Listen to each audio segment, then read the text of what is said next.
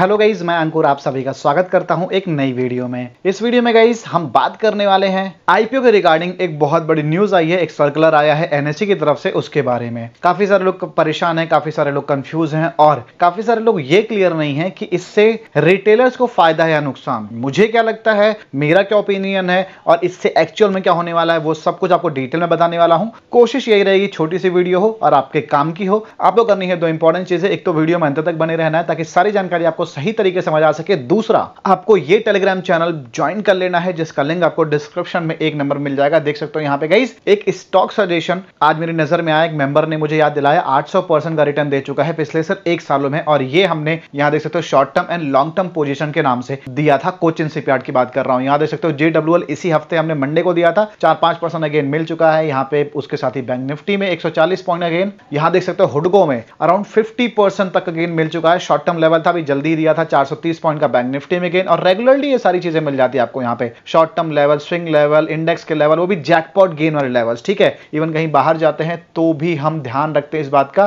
कि आपको रेगुलरली ये चीज़ें मिलती रहे, ठीक है? तो डिस्क्रिप्शन में इसका लिंक नंबर एक पे मिल जाएगा नंबर दो पे न्यूज़ चैनल का नंबर तीन पे इंस्टाग्राम का लिंक ज्वाइन ज़रूर कर लेना, साथ में यूट्यूब चैनल भी सब्सक्राइब करना मत भूलना। तो गई चलिए अपनी न्यूज़ को स्टार्ट करते हैं डिटेल में। यहाँ पे कुछ चीज़ें आपको ध्यान देनी है, जो कि आपके सामने है, जैसे कि डिवाइन पावर अभी जल्दी लिस्ट हुआ है 25 जून से 27 जून यहाँ पे आप डेट सक, देख सकते हो सभी आईपीओ का ठीक है? और इसका जो प्राइसमेंट था वो फोर्टी रुपीज़ का था लिस्ट हुआ है 155 पे 287 के प्रीमियम पे यानी कि 287 परसेंट अगेन इसने दिया है। अगर जो शिवालिक पार की बात करूँ एसएमई कैटेगरी का आईपीओ रिसेंटली लिस्ट हुआ है 211 परसेंट के प्रीमियम पे लिस्ट हुआ है ठीक है? यानी कि यहाँ पे 200 परसेंट से ज़्यादा का रिटर्न इसने लिस्टिंग में दे दिया सौ रुपए वाला प्राइस तीन रुपए में लिस्ट हुआ है। देख सकते हो मेडिकेम एंड ऑर्गेनिक्स भी अराउंड तीन से ज़्यादा के प्रीमियम पे लिस्ट हुआ है तीन परसेंट का, ठीक है? जेम एनवारो, यहाँ पे देख सकते हो 90 परसेंट के प्रीमियम पे लिस्ट हुआ है प्राइस 175 का 142.50 पे लिस्ट हुआ है, ठीक है? अभी आपने सिर्फ़ एक महीने में चार से पाँच एसएमई आईपीओ देख लिए जीपी को भी उनमें से एक है 298 परसेंट का रिटर्न दिया इसने लिस्टिंग के टाइम में तो चार से पाँच एसएमई आईपीओ आपने देख लिए, जिसमें बहुत शानदार रिटर्न देखने को मिला हमें, ठीक है? अब यहाँ पे मेन लाइन आप देखना विभोर स्टील ट्यूब से एक आईपीओ था, जिसमें वन का प्रीमियम देखने को मिला था, चार सौ पच्चीस के आसपास लिस्ट हुआ था और ये फेब्रवरी में था। फेब्रवरी के बाद कोई ऐसा आईपीओ नहीं आया है जो 80 परसेंट, सत्तर परसेंट, नब्बे परसेंट अगेन दे पाए। ठीक है हाँ सत्तर परसेंट के नीचे वाले आईपीओ मुझे याद है, बाकी आपको याद हो तो मुझे बता देना एक बार। ठीक है, उसके साथ B L S E services hundred percent के ऊपर तो आपको मैं बता ही रहा हूँ। अगर जो कोई एटी नाइनटी परसेंट का हो तो मुझे याद दिलाना। बी एल एस ई सेवा देखोगे तो ये जैन में आया था और एक सौ पच्चीस परसेंट का लिस्टिंग गेन इसने दिया है।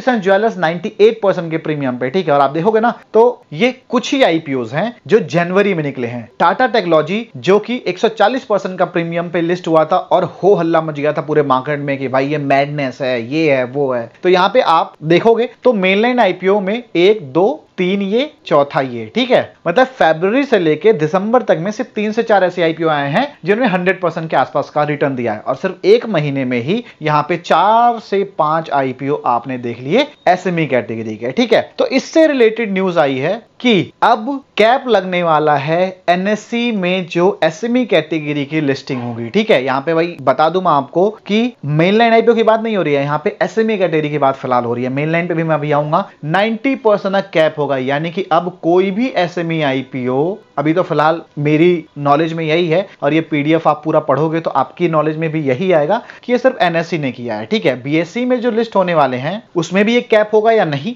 नहीं पता। इसका ये मतलब है कि अब जीएमपी कुछ भी चल रही हो आईपीओ कितना ही बढ़िया हो, उसमें जो लिस्टिंग गेन मिलना है, वो नाइनटी से ज़्यादा नहीं मिलना है। नब्बे का यहाँ पे कैप लग चुका है और इतने पे ही लिस्ट होगा, ठीक है? यहाँ पे कहीं ध्यान देने वाली बात है कि इस चीज़ से मुझे नहीं लगता है कि रिटेलर्स को फ़ायदा होगा। कैसे नहीं होगा, मैं आपको बताऊँ। रिटेलर्स को आईपीओ अलॉटमेंट मिलता ही है। आप में से काफ़ी सारे लोग को भी मिलता होगा। नहीं मिलता तो कमेंट करके बताना और मिलता है तो भी कमेंट करके बताना, ठीक है? अब जिनको भी मिलता है, कुछ ना कुछ पैसा बन जाता है। लेकिन इससे क्या हो गया कि भाई जिनको मिलता था, पैसा बनता था, उनका तो पैसा खत्म और खासकर रिटेलर्स का। बड़े प्लेयर तो चलो निकाल ही लेंगे। रिटेलर्स फंसेंगे कहाँ? मान लो किसी आईपीओ की एक्सपेक्टेड लिस्टिंग अभी रिसेंटली एक आईपीओ नेफ्रोकेयर पाँच जुलाई को लिस्ट होगा, ठीक है? उसमें जो जीएमपी है, एक परसेंट के आसपास की है। अब वो फंस गया इसमें। उसके साथ ही गणेश ऋण करके का आईपीओ आ रहा है। ओपन होगा अभी, ओपन नहीं हुआ है, उसमें एक सौ की जीएमपी है, वो भी फंस गया इसमें। अब रिटेलर्स फंसेंगे इस तरीके से कि मान लो हम एक्सपेक्ट कर रहे हैं कि भाई 150 परसेंट की लिस्टिंग इन मिलनी थी बट अब हमें 90 परसेंट की लिस्टिंग इन मिलेगी। तो ये जो बाकी 30 से 40 परसेंट गैप है, ये हम रुके रहेंगे और अपर सर्किट अपर सर्किट लगेगा, उसमें निकलेंगे। बट ऐसा नहीं होगा। बड़े प्लेयर्स गेम प्ले कर सकते हैं बिकॉज़ छोटे साइज़ का आईपीओ होता है और इसमें मान लो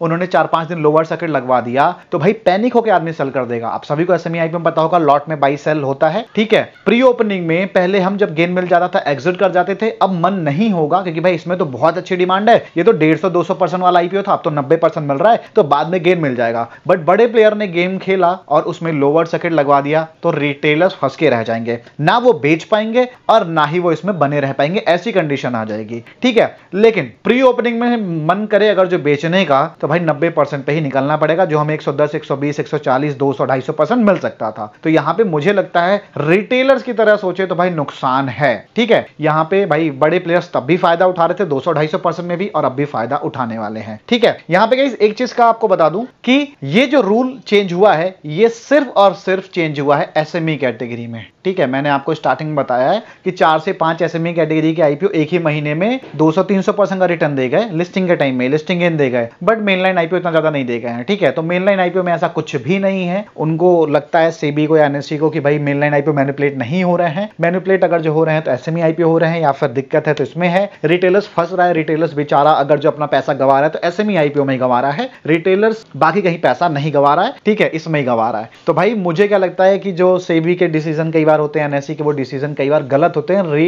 रिटेलर्स के फेवर में नहीं होते हैं। ठीक है अब आगे आने टाइम में अगर कुछ अच्छे आईपीओ लगातार आ गए तो ये चीज़ फिर मेन लाइन आईपीओ में भी। मेन लाइन आईपीओ जैसे अभी आपका एमक्योर फार्मा चल रहा है बंसल वायर चल रहा है ठीक है इनको बोलते हैं। इनके ऊपर हमने एक वीडियो भी बना दी है अगर जो आपने नहीं देखी तो जाके देख सकते हो इस आईपीओ में अप्लाई करना सेफ़ है या नहीं है यहाँ पे हमने लगा दे रहा हूँ डिस्क्रिप्शन में लिंक मिल जाएगा बंसलवार एमक्योर में। तो जाके देख लेना तो ये मेन लाइन कैटेगरी का आईपीओ होते हैं। तो फ़िलहाल मेरे हिसाब से ये तो कहीं ना कहीं नहीं सही है रिटेलर्स के फेवर में नहीं है। अब आपका क्या डिसीज़न है, आपके हिसाब से क्या है, वो मुझे कमेंट करके ज़रूर बताना, ठीक है? मेन लाइन आईपीओ में कोई चेंज नहीं है मेन लाइन आईपीओ जैसे पहले था, वैसे का वैसा ही है, जो भी चेंज है, वो एसएमई कैटेगरी आईपीओ में है, इस बात का ध्यान हमें देना है। तो कई अगर जो वीडियो में आपको जानकारी समझ में आई हो अच्छी लगी हो तो प्लीज़ वीडियो को लाइक ज़रूर करना, साथ में अगर जो कुछ पूछना हो कमेंट सेक्शन में पूछ सकते हो। मिलता अगली वीडियो में, करते हुए एंड बाबा फॉर